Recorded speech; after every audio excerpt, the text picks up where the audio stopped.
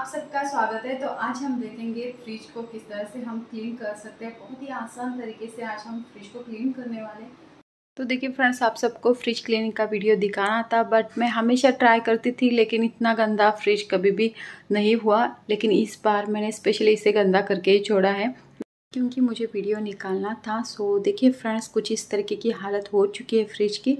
तो इतना गंदा फ्रिज होने के बावजूद भी हम इसे क्लीन कर सकते हैं। बहुत जल्दी बहुत आसान तरीके से हम इसे क्लीन करेंगे। तो पहले मैं आपको पूरी तरह से फ्रिज का व्यू दिखा देती हूँ कि किस तरह से अंदर से ये गंदा हो चुका है और बाद में हम इसकी क्लीनिंग को स्टार्ट करेंगे। सो so, आपने देखा ना सभी तरफ़ से कुछ इस तरीके का लुक है इसका। तो अभी हम इसके लिए एक सोल्यूशन बनाएँगे। तो फ्रेंड्स आपके फ्रिज में भी बदबू आती होगी। तो आप क्या करें? बेकिंग सोडा लीजिए। मैंने यहाँ बेकिंग सोडा लिया है। और हम पहले क्या करेंगे, इस तरह से बेकिंग सोडा को इसके ऊपर डाल देंगे और फैलाएँगे इस तरह से। तो देख सकते हैं, इस तरह से हमने पहले बेकिंग सोडा इसके ऊपर डाल दिया है और आधे घंटे के लिए हम इसी तरह से इसे छोड़ेंगे, सभी जगह पर डाल दीजिए और बाद में इसे ढक के रखेंगे और आधे घंटे के बाद ही हम इस फ्रिज को क्लीन करेंगे। ऐसा करने से क्या होता है कि जो फ्रिज के अंदर बदबू रहती है, वो चली जाती है बेकिंग सोडा डालने की वजह से। सो मैं अभी इसे ढक के रख रही हूँ। आप चाहें तो अगर यहाँ भी इस तरफ़ बहुत ज़्यादा गंदा होगा तो इस तरफ़ भी आप डाल सकते हैं। तो इसे क्लोज़ करके रख देते हैं। तो आधे घंटे के बाद देखिए, मैं इसे ओपन कर रही हूँ। आधे घंटे के बाद इसके अंदर जो कुछ बदबू होगी, वो पूरी तरह से निकल जाती है। तो इसे हम निकालेंगे और फिर अच्छे से स्क्रब करके इसे वॉश करेंगे। इसके ऊपर आप नींबू रगड़ देंगे तो ये जल्दी से क्लीन हो जाएगा। नहीं तो आप डिश वॉश का यूज़ कर सकते। विम लिक्विड इसके ऊपर लगा के अच्छे से स्क्रब करिए। जल्दी से एक ग्लास क्लीन हो जाएगा। अगर बहुत ज़्यादा गंदा नहीं होगा तो आप क्या करें? सिंपली जो स्पॉन्ज रहता है, उसे आप पहुँच कर ले सकते हैं। नहीं तो आप कॉटन क्लोथ का भी यहाँ यूज़ कर सकते हैं। तो अभी मैं इसे निकाल कर अच्छे से स्क्रब करने वाली हूँ, क्योंकि ये बहुत ज़्यादा गंदा है। देखा ना फ्रेंड्स आपने? सो इस तरह से मैं इसे निकाल रही हूँ और इस ग्लास को मैं बाहर लेकर जाने वाली हूँ और वही क्लीन करने वाली हूँ। आपको भी दिखा दूँगी। सो सभी ग्लास को, इस ट्रे को भी मैं बाहर लेकर जाने वाली हूँ। सो इसे भी हम निकाल कर बाहर लेकर जाने वाले हैं। तो देखिए फ्रेंड्स इस सबको मैंने निकाला है। तो यहाँ भी बहुत गंदा हुआ है, देखिए इस तरह बीच में। तो वहाँ हम थोड़ा सा बेकिंग पाउडर डाल देंगे और नींबू से रगड़ेंगे तो ये जल्दी से निकल जाएगा। तो कुछ इस तरीके का है, अंदर से ये और साइड में भी देखिए कुछ इस तरीके का है।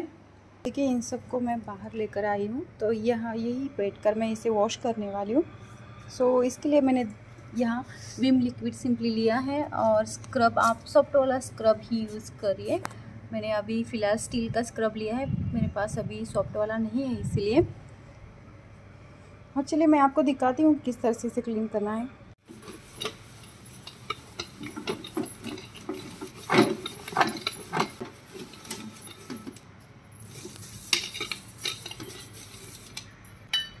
बाद में हम ब्रश का यूज़ करेंगे और इस तरह से निकालेंगे। आप चाहे तो यहाँ विनेगर का भी यूज़ कर सकते हैं।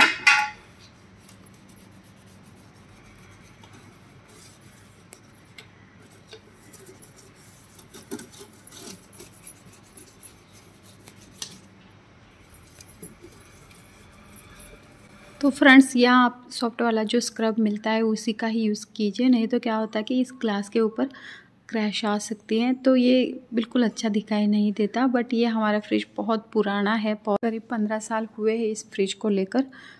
तो मेरे पास एक्चुअली सॉफ्ट वाला स्क्रब नहीं है, इसलिए मैंने इस स्क्रब का यूज़ किया है। बट मैं इसे धीरे धीरे से कर रही हूँ, देखिए। जिस जगह पर स्क्रब का यूज़ नहीं होता, उस जगह पर आप सिंपली ब्रश लेंगे, ब्रश से भी आप इस तरह से किनारे क्लीन करेंगे तो भी ये जल्दी से क्लीन हो जाएगा।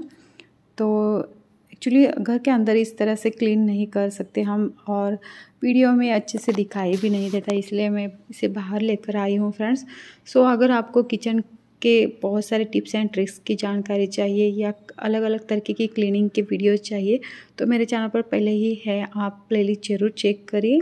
इस वीडियो के एंड में मैं एक प्लेलिस्ट लगा दूँगी तो आप वो प्लेलिस्ट ज़रूर चेक कर लीजिए फ्रेंड्स तो आपको बहुत सारी इन्फॉर्मेशन मिलने वाली है इस वीडियो से फ्रेंड्स तो देखिए, इसे मैंने वॉश किया है। बिल्कुल नया जैसा ही चमक रहा है। तो अब ग्लास को भी हम क्लीन करेंगे।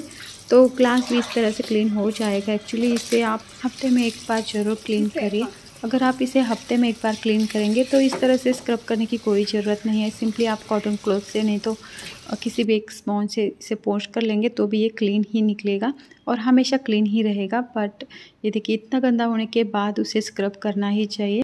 सो so, इसे भी हम अच्छे से वॉश करके ले लेंगे और थोड़ी देर में इसे धूप में इसी तरह से रखने वाली हूँ और बाद में ही घर के अंदर लेकर जाने वाली हूँ फ्रेंड्स अगर आप मेरे चैनल पर नए हैं पहली बार इस वीडियो को देख रहे हैं तो प्लीज़ चैनल को सब्सक्राइब करिए मेरे चैनल पर आपको टूर के वीडियोस भी दिखाई देंगे। अगर आपको केरला के टूरिस्ट पॉइंट देखने हैं, उसकी जानकारी चाहिए तो मेरे चैनल पर बहुत सारे वीडियोस आपको दिखाई देंगे। प्लेलिस्ट ज़रूर चेक करिए, फ्रेंड्स।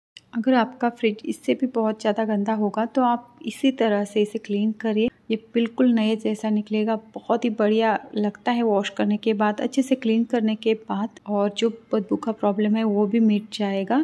सो आप इस तरीके का यूज़ ज़रूर करिए। फ्रेंड्स एक बार इस तरीके से वॉश करके देखिए।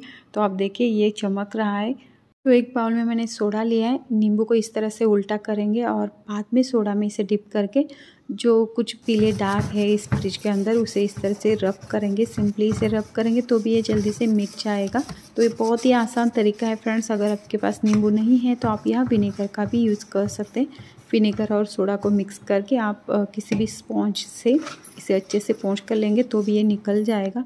बहुत जल्दी ये जो डार्क डब्बे रहते हैं फ्रिज के अंदर के वो निकल जाते हैं तो मैंने यहाँ इस तरीके का क्लोथ लिया है।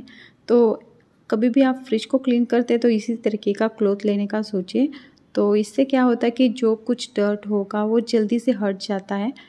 आपने देखा ना फ्रिज के अंदर कितनी गंदगी इकट्ठा हुई है। सो so, इस क्लोथ का यूज़ करेंगे तो आपको बार बार पानी में डिप करने की ज़रूरत नहीं है क्लोथ को। सिंपली एक ही बार आप पानी में से डिप करेंगे तो पूरी तरह से फ्रिज को क्लीन कर सकते हैं। बाद में दो तीन बार हम अच्छे से इसे पोछ कर लेने वाले हैं। बट जब आप इसे क्लीन करते हैं तो बड़ी तकलीफ़ नहीं होगी। इस क्लोथ का आप यूज़ करेंगे तो। तो देखिए, अंदर की तरफ़ भी बहुत गंदा है तो उसे भी हम पहले जैसे ही रगड़ेंगे अगर इससे भी बहुत ज़्यादा गंदा है तो आप क्या करें इसे लगा के थोड़ी देर, करीब आधा मिनट, बीस मिनट के लिए छोड़ दीजिए। तो ये तुरंत निकल जाएगा फ्रेंड्स तो देखा ना कितना भी गंदे से गंदा फ्रिज होगा तो भी आप इस तरीके से बिल्कुल नए जैसा इसे निकाल सकते हैं. कितना आसान तरीका है, आपको इसे देखकर लगता ही होगा कि अभी जाकर फ्रिज को क्लीन कर दूँ. तो अगर आपके मन में इस तरीके का सवाल आता होगा तो आप जाइए तुरंत इस तरह से फ्रिज को क्लीन करके देखिए. आपका भी फ्रिज इसी तरह से चमकेगा. तो वो देखिए, नीचे की तरफ़ बहुत ज़्यादा गंदा है तो उसे भी मैं उसी तरीके से क्लीन कर रही हूँ। अगर आप हफ़्ते में एक बार विनेगर से इसे पोंछ कर लेंगे तो भी क्या होगा कि बदबू भी नहीं आएगी और फ्रिज हमेशा क्लीन ही रहेगा।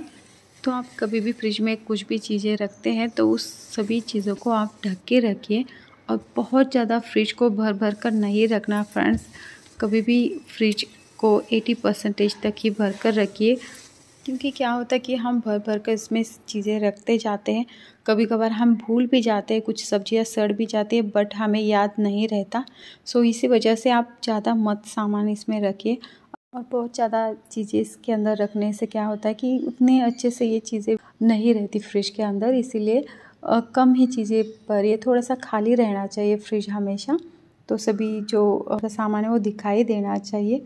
तो देखिए, इसके जो किनारे रहते हैं, उसमें भी हम ब्रश करेंगे तो इससे पहले मैंने इसमें नींबू और सोडा को लगाया था और बाद में देखिए मैं इसे निकाल रही हूँ।